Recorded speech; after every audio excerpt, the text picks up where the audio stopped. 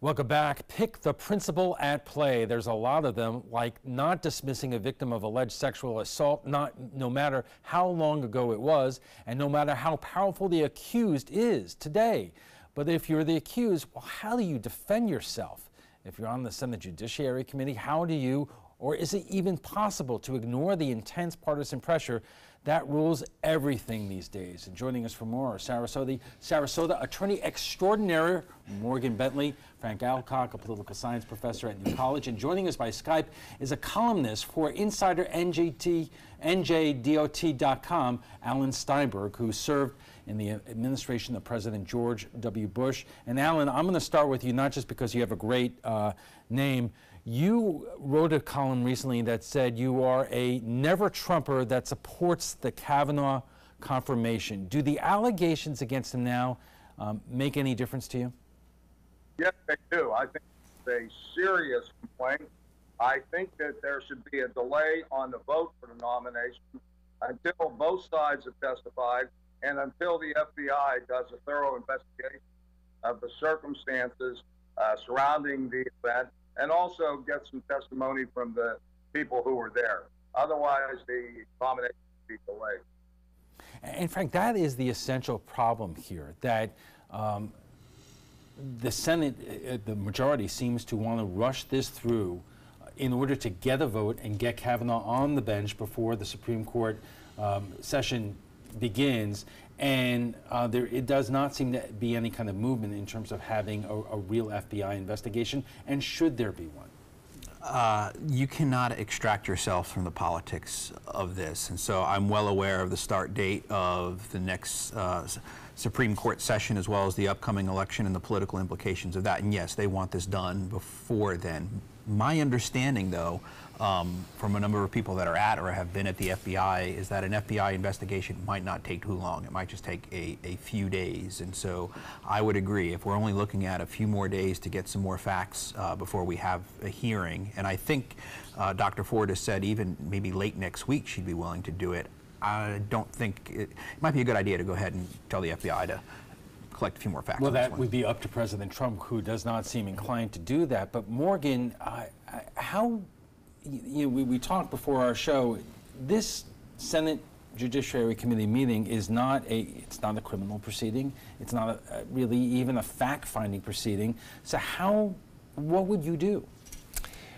Uh, well, if I was on the committee, you mean? Uh, look, in a perfect world, a sober adult group of people would listen to this, take it seriously, look at it with seriousness, and respond accordingly. They would not, and as I think both sides are doing, is prejudging, putting the conclusion out there before they, they know anything about it, and I think Democrats and Republicans are both guilty of this this go around, is you know, you, you listen to, to the people, you give them their their serious due uh, you know, their due process and listen to their story. It's a serious allegation. If we were talking about a violent crime, uh, you know, a, a, murder or something, we wouldn't even be talking about why did you wait and why did you not, you know, why did you wait from July until September?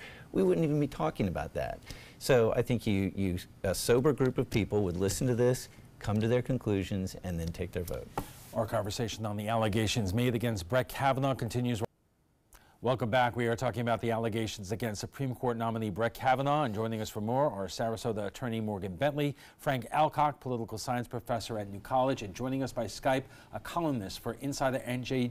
J, NJ, I'll get this right, dot .com, Alan Steinberg, who served in the administration of President George W. Bush. And Alan, let me ask you uh, this. You heard the interview with our uh, local uh, Republican conservative who uh, absolutely says that uh, this is, is politics 100%, um, even suggesting that, um, uh, that, that members of uh, the, the Democratic Party should be held in contempt of, of Congress for pushing this along. Do all Republicans feel that way, or, or are there Republicans out there who want this fully vetted? Well, I don't feel that way. I think it's a serious allegation. And uh, I have been served both political parties over the last decade playing politics and I, I think this is something that is very regrettable. But again, I think that this issue has to be heard out. And I think that, as Louis Nizer once said, you can't make a determination until you he, hear and see witnesses. And at that particular point, a determination will be made. But I have a concern that uh, in terms of the Republican Party, they may get the confirmation done, but it could be a Pyrrhic victory that results in a substantial backlash among women voters that cost the Republicans the Senate seat in both Florida, where you have a very close race, and also in Texas, where Ted Cruz is facing serious competition. So politics are at stake here.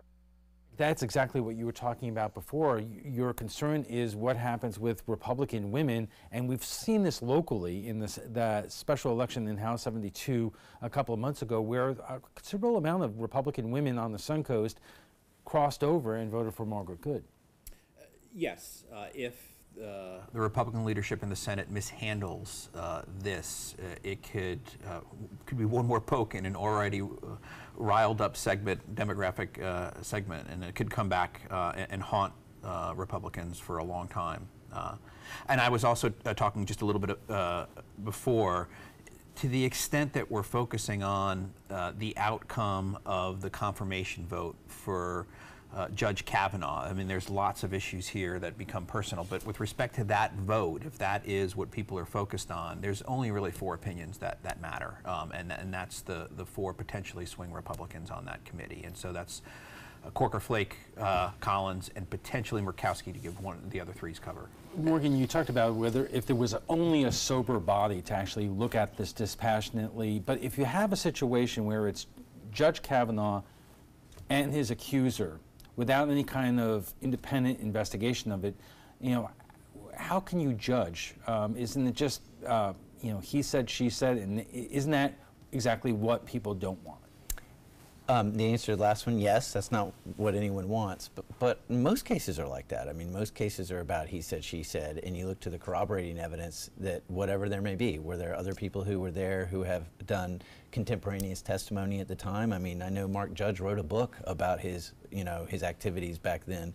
Um, he'd be somebody you talk to. Anybody else at that party, if it were a real case, you would subpoena everybody at the party. You'd get everybody's uh, testimony as to what happened. You'd look at things like, you know, yearbook posts and contemporaneous writings and what people may have said to therapists, et cetera, et cetera, et cetera. And there'll be, there either will or won't be corroborating evidence for one side or the other. So it's not a he said, she said, because that's just not the way cases work. Okay, we are just getting warmed up. Our conversation on the allegations made against Brett Kavanaugh will continue after a quick break. Stay with us.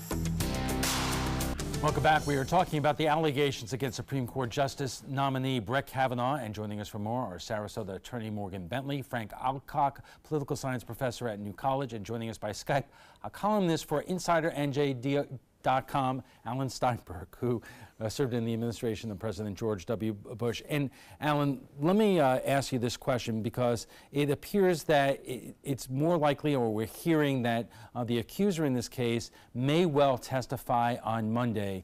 Uh, and uh, it, Judge Kavanaugh would also testify, and you will have those two witnesses, and then the Republicans will move on to a, a vote. What do you think happens within the Republican Party um, if a lot of people share your opinion? Uh, if this, you know, it goes right to the Senate floor and a vote is is just cast along those lines without any other kind of uh, investigation? If it looks like a steamrolled nomination, there will be a tremendous backlash. The Republican Party has been losing great numbers nationwide. Uh, it's true that Trump gets a larger percentage of that shrinking number backing him. However, the number is shrinking because the public is alienated by the Republican stance, which is contrary to what I, believe in terms of immigration, in terms of civil rights, in terms of uh, the xenophobia that prevails in the Trump administration. So if this nomination is steamrolled, you will have a backlash. It will cost the Republicans very possibly a very close Senate. The Republicans are going to are going to lose the House of Representatives anyway. That's a done deal. The Democrats have that. However, the Senate, the Republicans still have an edge. But you will have in states like Texas, which is going from uh, red to purple, you will have uh, Ted Cruz losing support, and he has to back the conservative nominee anyway, but he will alienate women voters. Uh, I think that Gillum is going to win in Florida. I'm covering your race very closely, and I think he can pull in a large African American vote. And now, if it appears that this nomination was steamrolled and the uh, complainant, uh, you know, Dr. Ford, was not dealt with fairly, you're going to have a larger uh, women's vote on behalf of Bill Nelson, and the Republicans will have lost both houses of the Congress. really rankles many Republicans is that you, given the amount of time and, and the, the faded memories, you are not going to be able to prove guilt or innocence here. And that leads a lot of Republicans to believe this is simply about stopping this nomination one way or the other. Oh, I think that's true, which is why I go back to my original point is you've got to, it, you know, sometimes being heard is the most important thing. Um, and, and, you know, how the case actually comes out is of, of, I mean, it's important, but it's not as important as just feeling like you've been heard. And to, to your guest point is, I think what has to happen is you, the, the Senate has to make everybody involved feel like they've been heard, whether they're, you know, this particular woman or Brett Kavanaugh or the, the people who have such a vested interest in this and are, and are like so angry about it, they all need to be heard because if you shortcut the process, you're going to alienate, by definition, one of those uh, groups of people. But Frank, the, the, the process will be shortcut no matter what you do. You could have a, a really good hearing next week where uh, this woman gets an opportunity to, to state her case and Judge Kavanaugh has a, a opportunity to state his, uh, but with no FBI investigation, um, it's just talk, and either side is not going to be happy. It depends upon how quickly the vote happens uh, after uh, the hearing, if the hearing happens Monday, there might be a little bit more time to collect some uh, information if the hearing were pushed back to later in the week. I am not on the Judiciary Committee. I can imagine uh, if I were a Democrat or a Republican on that committee, there are certain questions that I would be asking both of these witnesses with respect um, to, to what they remember happening at that party, or even if they were at any party that resembled something like that, and that you might actually be able to corroborate within a few days some of the facts that would lend more credibility to one side or the other. Speak for a moment to a lot of our viewers who are watching this right now, and this is, they're, they're saying this is all, this is not about Judge Kavanaugh. This is all about the last nominee, Merrick Garland, President Obama's nominee, who was held up and not even given a vote. And this is payback by the Democrats. It's about everything, and that's part of the point. You cannot extract yourself. This, um, it, it, for Dr. Ford, this is a deeply uh, personal issue and certainly something that has impacted and affected her, uh, and that seems, those claims seem credible regardless of what may or may not have happened that night. This is something that has impacted her life. Uh, and for her, that's her reality. But we're at a, an extremely political moment right now in our history. And certainly the Merrick uh, uh, Garland case uh, and a variety of other things factor into some really, really intense feelings. And you, you, you and so it's about that uh, for many people in a number of ways. And so I don't think you're going to be able to extract yourself from the politics. You just do the best that you can, uh, is just trying to apply the right process uh, here, give people uh, a, a, moment, uh, their ability to come out and, and, say what they have to say. It might not take that long. And a little Ellen, longer than they're saying, but it might not take that long. And Alan, I mean, you, you've expressed your opinion in terms of wanting another investigation here, but Republicans uh, and members of your party do believe that this nominee is being steamrolled here because, uh, because of what happened in the last administration. Um, and as Frank said, all of these things could be correct. Uh, but what would you say to other Republicans? Well, that brings up a bigger problem, and that is that this president, and this is one of the reasons I have opposed him so vehemently, is hell bent at destroying the credibility of institutions. And one of the institutions most venerated in America is the FBI. And you have a president out there who is saying that the FBI is a cancer on America. So if they make a find, they won't make a formal finding, They'll say, This is what we discovered. You make the judgment. But you will have the president absolutely crashing without any credibility what the FBI says. And that brings up a problem that is bigger than the nomination itself. This is a president who is alienating millions of Americans by destroying institutions. And I think that what Republicans have to say to themselves is this is a very well qualified nominee. However, a serious allegation has been raised. Let it be heard. Let the FBI do its investigation. Why is there a rush to judgment? Let them do their investigation. Let them come back with what they find.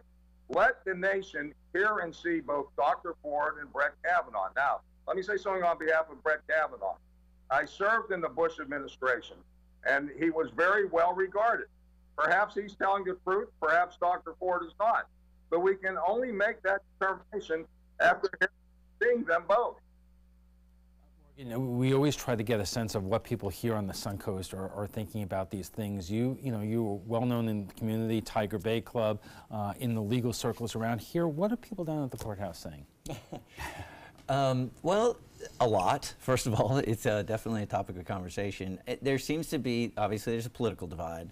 There seems to be a little bit of a, of a generational and a gender divide. Um, I, I think, you know, women in particular feel like, you know, this is something that they can all relate to, if not personally, people who've been close to them or something where, you know, it may not be the classic, you know, rape situation, but some, something like this where you're assaulted and you're overpowered or what have you. So they can, they can relate a lot more, and especially younger women, um, I think, are more vocal about um, how this is something that happens to, to women and it needs not to happen to women.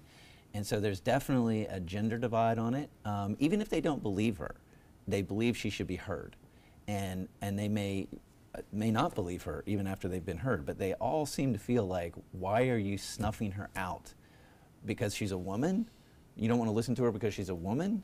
That's what I hear. That phrase I just said, I've heard so many different times. Frank, is this any different than the, the reaction after Anita Hill? If you remember the, the, the allegations of sexual harassment that she made against Clarence Thomas, was it over 30 years Yeah, ago? lots of parallels between the cases and the way that they're playing out. Although it was a different time, you certainly didn't have the Me Too movement back then. And I actually think public opinion at the time that Anita uh, Hill testified was not really in her favor. And I think we've come to learn some lessons from that and how uh, she was treated at that uh, at that hearing.